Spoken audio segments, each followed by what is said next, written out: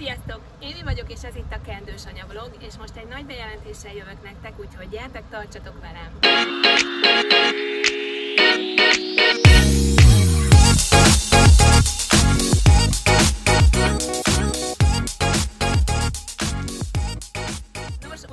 Hogy egy ideig szüneteltetni fogom a videózást. Igazából nagyon sokat gondolkodtam rajta, hogy hogyan kellene csinálnom, de az elmúlt pár hétben több olyan dolog is történt az életemben, ami miatt most több időre van szükségem, mint eddig bármikor.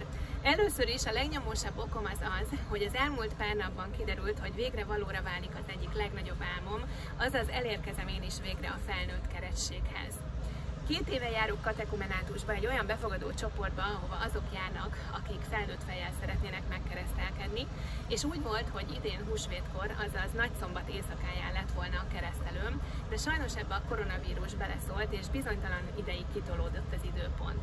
Pár napja viszont kiderült, hogy most egy hónap múlva most már lehetséges lesz a keresztelőm, így viszont, hogy így alakult, viszont ha mindhármunké egyszerre lesz, azaz az én és a két kisfiam keresztelője egy napon fog megtörténni.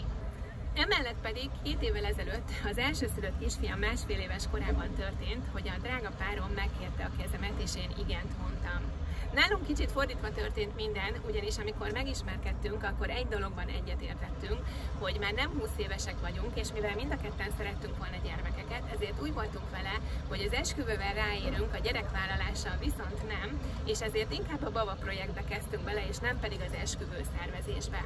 Két éve pedig, amikor aztán végül eljutottunk az eljegyzésig, akkor viszont meg már én mondtam a páromnak, hogy ha már így alakult, most viszont meg már szeretném hogy aztán a házasságunkat az Isten szín előtt köthessük meg.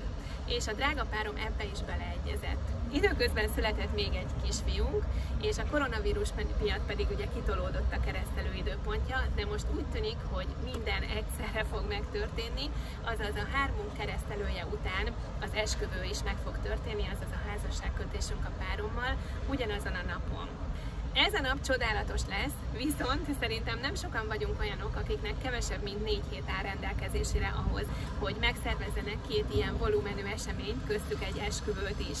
És ha valakiben felmerülne a kérdés, hogy miért nem vártunk akkor az esküvővel egy kicsit, és miért nem toltuk el, hiszen ez a pár hónap már igazán nem számít. Ennek az az oka, hogy ugye a felnőtt keresség az eltörli a keresség előtti bűnöket, tehát úgymond teljesen tiszta lappal indulunk, viszont ugye a katolikus egyház hite szerint nem lehet vadházasságban együtt élni házasság előtt senkivel, úgyhogy célszerű az egyházi esküvőnek a keresztelő napján megtörténnie, vagyis hát nagyon közel kell legyen ez a két esemény egymáshoz, és ezért úgy döntöttünk, hogy ez lesz így a legalkalmasabb pillanat. Szóval a legnyomósabb okom az az, hogy ebben a négy hétben szeretnék a lelki életemre koncentrálni, és természetesen a készülődésre is, viszont cserébe majd készítek arról egy videót, hogy hogyan lehet kevesebb, mint négy hét alatt megszervezni egy esküvőt.